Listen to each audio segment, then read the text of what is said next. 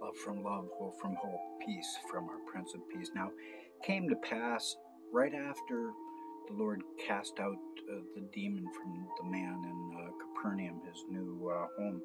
The people on the uh, scene were just, they, they were like mouths wide open. They were in utter shock because many of those had knew this demoniac person for some time and they could not ever see the guy being normal again. And all of a sudden, these uh, when these uh, uh, demons left the man, he was like normalized.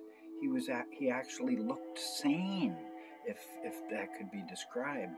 Uh, and they knew him for years, and he, he was um, hanging on the edge of uh, the city with a cup in his hand every uh, Sabbath for uh, people to uh, donate to God th- through him. He wasn't a dummy, he might have been possessed, but he knew the people would feel sorry for him, and he had, uh, but he threw away his cup after. Um, after the Lord overflowed his spirit and cast out the demon, the man came to his senses, threw away his cup, and he started walking rightly, and he looked rightly. So after the darkness comes the light, and vice versa. Because of his recent fasting, it should be understood that the Lord did look a bit uh, gaunt and rugged, uh, as though he was burning up by the restless fires of his own unbounded passions. And as uh, and as that shocked uh, crowd looked upon Christ and heard Emmanuel speak, there wasn't any question about him appearing self-confident and fierce when it came to casting out uh, the foul spirits from that poor possessed soul. And it came to pass immediately after that the intense spiritual show of strength, that the crowd was a bit noisy at first because uh, because those standing at the back couldn't hear Christ uh, when he resumed his message. Uh, thusly, it was Sabbath day, and all was at peace, and a healing paved the way for teaching. And uh, thusly, there were some interruptions um, for, um, but Christ put that away very, very quickly with but a few words. For he was like a, a, general among the legions, and everyone there obeyed him really fast, like they were but common soldiers. Uh, and when peace was again, uh, once again, finally still, our author of life then commented that sweet is the attainment of the evil inclination at the start for people who do not fear God, but such end up uh, being extremely bitter in the end. So he gave wise teachings unto those in front of him. And he also asserted uh, and stressed that the wretched inclinations behaves like a guest at first, no matter how evil uh, those might be. But it eventually, such inclinations become master over the people. If uh, we get back what we put out, if we put out evil, we walk in evil. For the wicked rarely make any resistance uh, to it, but quickly abandon themselves over to their evil ways. And that's why uh, uh, people suffering from demons, they become settled in with it and they accept it and don't fight against it. And they have what they uh, don't desire to get rid of. And as the seas, as the seas throw up its refuse upon the shores, so too have the wicked. Uh, uh, uh, so too have the wicked let their filthiness uh, come forth out of their mouths. So the Lord then went on to warn that all believers must be cautious, even adding that countless uh, evils and dangers, and innumerable, uh, always awaits patiently for foolish peoples. And that is a shame, but it is true.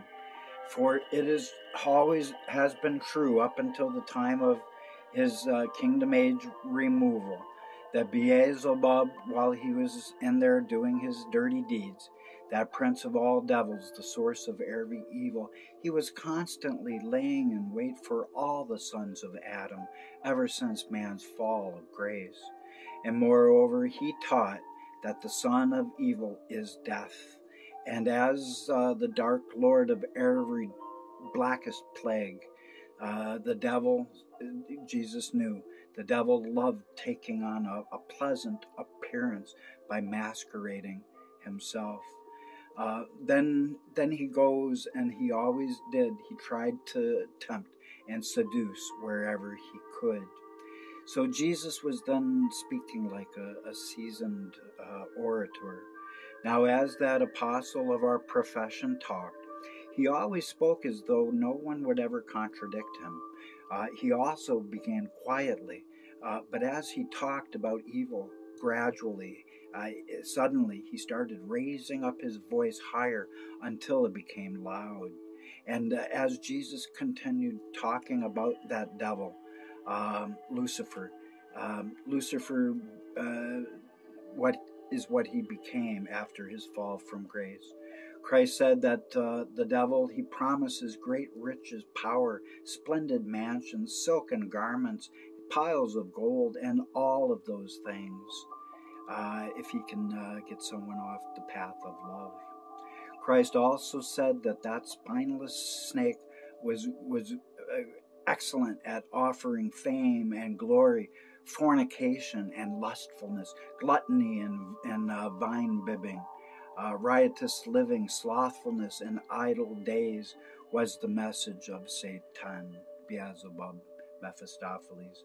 And that father of lies, said Christ, entices everyone by things that their very own hearts lean towards. For if an obedient person becomes a slave unto Diablo and to the sin that he represents, uh, then they become used to their pride filled vanity and their other unspeakable abominations as their hearts quickly wax colder than ice. Thereby, the Lord let all people realize that thereby hard, hardened, hard hearts, they loosed the good things that were once given unto them by our Father of lights. Poor substitution, but substitute do they. And our chief shepherd noted as well that this old snake of Eden, who was all washed up, no place to go, would eventually take uh, from every fool their breath, their blood, their flesh, their bowels, their eyes, and their ears. He would take it from everyone foolish and everyone wise. Uh, but uh, we all die. But um, the essence of evil would go on even after Satan's removal. And then the Lord went on to say that there isn't any doubt uh, that the breath of reprobates shall become short and stifled due to their overflowing inward uh, pollution. And without a doubt, the spiritual blood of lovers of unrighteousness will then become thick and evil smelling, while becoming like the water of some eerie swamps which clots up and blackens like the darkest night of death. But above all else that uh, the Lord was preaching that day in Capernaum, the people really hung on to his word when Emmanuel was then teaching that the spiritual bones of, uh, of unrighteous people shall become very hard and knotted until they melt away within the, the um, uh, till they melt away and break asunder like a stone falling upon a rock. So uh, the people were grossed out by um, the message of evil, and they had seen the demonic uh, leave the, the man that they knew.